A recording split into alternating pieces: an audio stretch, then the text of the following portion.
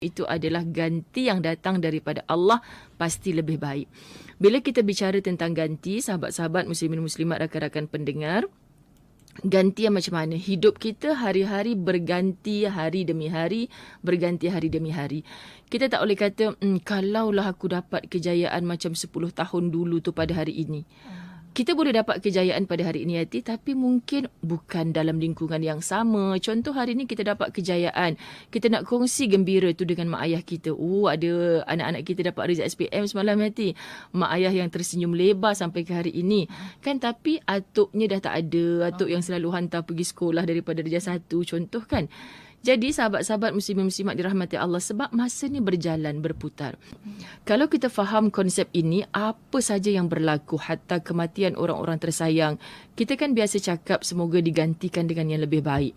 Ada orang kalau tak faham Yati, tak nak ganti lain Ustazah. Itulah suami saya sampai ke syurga. Allah. Contoh, memang kita takkan dapat ganti yang sebiji macam tu Yati. Betul. Kalau rupanya iras-iras pun, kahwin dengan kembarnya ke? Takkan sama. Betul. sebab hatinya yang berapa banyak mengasihi kita kan ya dia kenangan-kenangan dengan dia tak mungkin berulang kembali.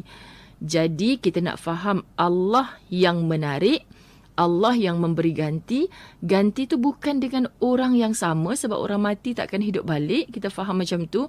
Tetapi hari ini kita menyesali dulu dia ada kita tak betapa menghargai sangat. Sekarang suami di sisi, anak-anak di sisi. Kalau kita masih lagi mengulangi sikap kita yang dulu, macam mana Allah nak beri ganti yang jauh lebih baik dengan kita? Sebab selamanya kita tak akan duduk di kalangan hamba-hamba Allah yang bersyukur. Syukur ni bahagia sahabat-sahabat muslimin muslimat dirahmati Allah. So apa saja gantinya walaupun bukan orang yang sama, walaupun bukan situasi yang sama.